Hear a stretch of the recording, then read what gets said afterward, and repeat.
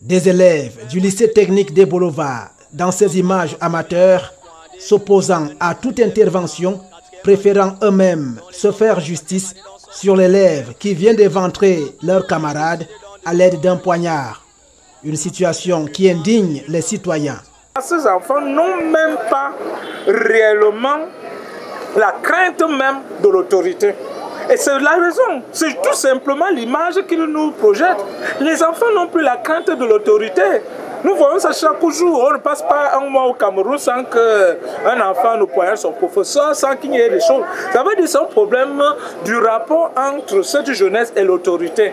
Est-ce que l'autorité aujourd'hui représente encore une certaine valeur et a encore une certaine crainte? Même en présence des forces de maintien de l'ordre, les camarades de la victime respirent la vengeance la dérive sociale au niveau des enfants, c'est déjà un souci familial.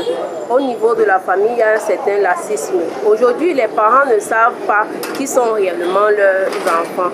L'enfant sort de la maison avec un couteau. Le parent ne fouille jamais le sac de l'enfant sous prétexte qu'il est trop occupé. Il y a d'autres personnes qui vont s'occuper de l'enfant ou alors, si eux, les parents, ils ont grandi sans occupation, sans éducation, autant pour nous, les enfants aussi le peuvent. Vous voyez un enfant qui a les sur son corps, ça dénote déjà tout. La personnalité, d'où même il vient exactement, quelles sont ses origines? C'est déjà le premier aspect.